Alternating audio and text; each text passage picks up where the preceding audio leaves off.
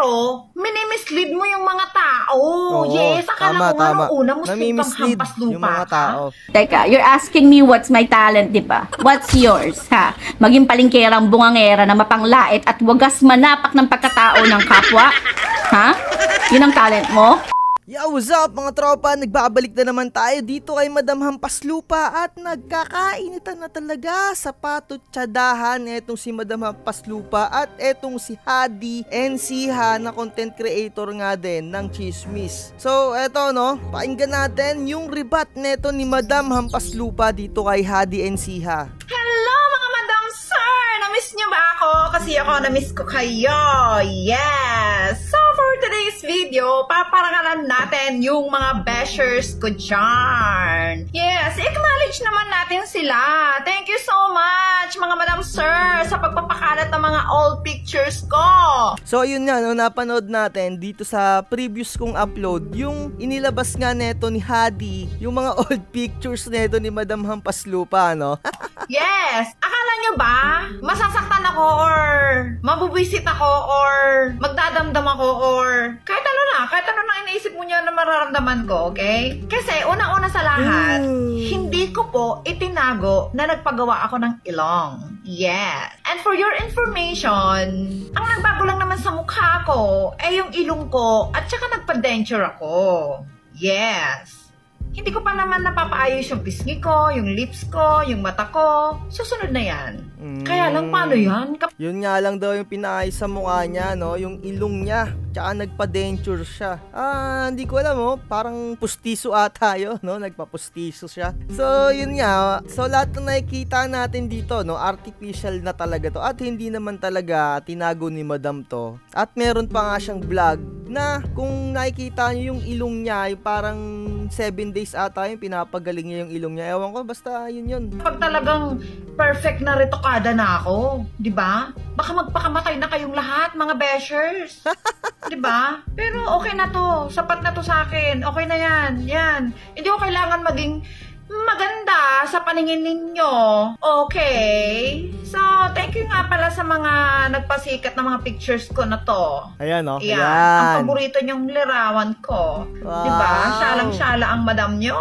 Walang makeup makeup, 'di ba? Nakakapagpa-picture kahit walang makeup. Sana Kasi all. proud ako diyan, nakatanggap ako ng mga mamahaling bulaklak. Eh kayo mga bashers, nabibigyan ba kayo ng mga bulaklak na ganyan kagaganda? Baka binibigyan lang kayo ng mga jowa, yung mga bulaklak pang patay. 'Di ba? Kaya inggit na inggit kayo, kaya kinrap nyo na lang yung pangit kong pagmumukha at hindi nyo sinama yung magandang bulaklak na kasama ko sa picture. Aba, aminado naman pala si Madam talaga na pangit yung pagmumukha niya dati. Aminado? Diba? So, sino nagpakalat ng picture ko? Abel! Diyos ko, ah. Si ano nga pala? Si Albinong Balyena! Yes! Si Mrs. Yes! Mapagpanggap na Muslim! Mapagpanggap na Kristiyano ang hampas lupa! Nag, nakaabaya ka ano, i-follow ka ng mga Muslim. Op, so meron tayong narinig doon na binanggit ni Madam Hampas Lupa, no? Yung suot ni Hadi and Siha na vlog, sabi niya ay ayun daw yung abaya. Kung hindi ako nagkakamali sa pagkakarinig, ulitin na lang natin. Mapagpanggap na Kristiyano ang hampas lupa. Nag, nakaabaya ka para ano, i-follow ka ng mga Muslim. Ayun, no? Narinig naman natin na alam talaga ni Madam Hampas Lupa yung tawag doon. Pero, eto, panoorin natin yung video na to. Meron pang isa dyan na nakisawsaw na yung babaeng naka, ano pa tawag doon? Yung nakaganon, yung Ayan, naka-Muslim. oh, Yan, yon. Diyos ko, hoy, Diba? Sinasabi niya na hindi daw niya alam yan. So ano no? So ang rebat kasi din neto ni Madam, si Hadi and Sia, parang Kristiyano daw. Tapos, syempre para ma-follow daw siya ng Christian. Tapos nagsosot naman din daw nung ah, abaya para naman daw i-follow siya ng mga Islam. Yun ang rebat ni Madam. So mabigat yung mga bars din dito ni Madam no. Medyo talagang real talk din. Magpakatotoo nga naman kung anong relihiyon ang meron ka. Hindi yung mapagpanggap ka. So para sa akin, point dito si Madam Hampas Luba. Tapos, Sasabihin mo, Bible, ganyan, Christian ka para i-follow ka ng mga Christian. ano be? Ha? Desperada? Desperada na makahangot ang mga followers. Kaya kung ano-ano na lang ang gagawin mo sa sarili mong baboy ka, ha? Ano nga, ang sabi nung ano, nung nag-comment sa'yo? Tama naman yun, di ba? Kung ano ka, panindigan mo, wag mo, wag kang magpapanggap, wag kang magtatago sa isang kasuotan ng mga Muslim na hindi ka naman Muslim, although wala naman nagbabawal na magsuot ka ng abaya. Oh, boom! Talaga, eto, mabigat yung bitaw dito ni Madam Hampas Lupa. Talagang real talk, no? Yun nga naman, huwag ka nang magpanggap para dito kay Hadi and Siha, no? Kung anong ano ka, yun ang gawin mo, hindi yung panggap ka ng wala. Although talaga mabigat din yung bars dun nung una nating upload ni Hadi. Pero ito talaga real tukan na talaga sila, no? Real tukan, sagutan ng mga talagang makikita sa pagbumuka. Diba? Wala nagbabawal na magsuot ka ng abaya kahit anong relihiyon ka pa. Pero, minimislead mo yung mga tao. Oo, yes, akala tama, ko nga tama. nung una, Muslim Nami-mislead hampas lupa yung mga tao.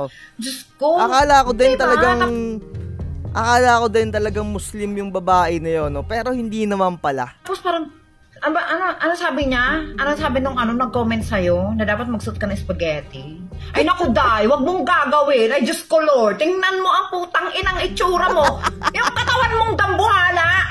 Ganyan ka kalaki, ganyan no, ganyan ganyan ka. Ganyan ka kalaki, tapos mag-spaghetti ka. Ano magiging itsura mo nun? Ah, parang kang whale shark na nag-bra.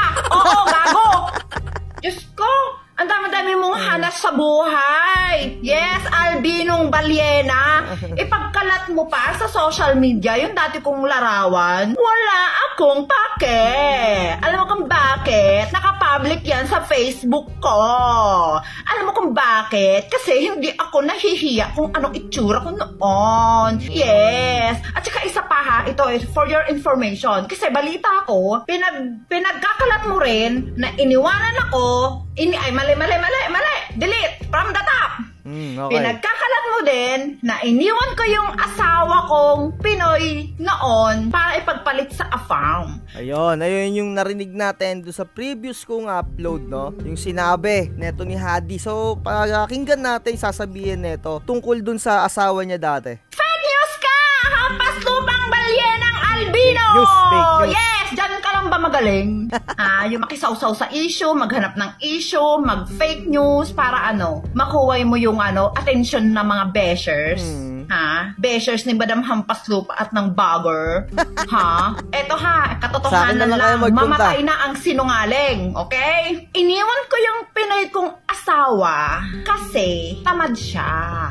Hmm. Okay? Hindi tayo mabubuhay ng pagmamahal lang. Hmm. Hindi tayo mabubuhay ng kumakain lang tayo ng three times a day. Maraming pangangailangan na dapat i-provide. Okay? Hindi pwedeng ako lang ang may pangarap. Naintindihan mo? Albinong balyena. Ha? Naintindihan mo? Hindi pwedeng babae lang ang may pangarap. Okay? Kaya I decided na maghiwalay kaming dalawa. At for your information, annulled na ako. Okay? O isipin mong bobo ka ha. Kung ilang taon ang process ng annulment, okay. Bago ako nag-asawa. Ay, hindi pa nga ako napag-asawa eh. Engaged pa lang ako last year. Okay?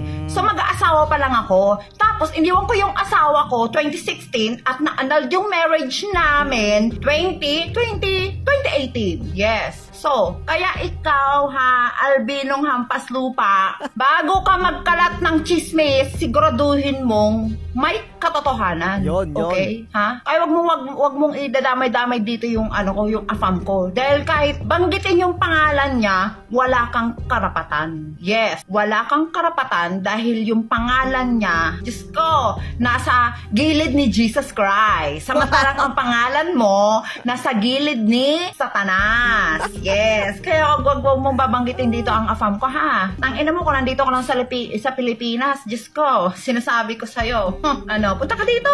Ano, square tayo. Battle of the YouTuber, no? Masyado ka, madam. Yes, Madam Albinong Balyena. Huwag ka masyadong mapagpanggap. Bitter ka, Albinong Balyena, ha? Kaya ka naka, naka ano, naka, naka-hijab, kahit na hindi ka naman Muslim na sinasabi mo, kasi paraan mo yan para maitago yung kapangitan mo. Hmm. 'Di ba?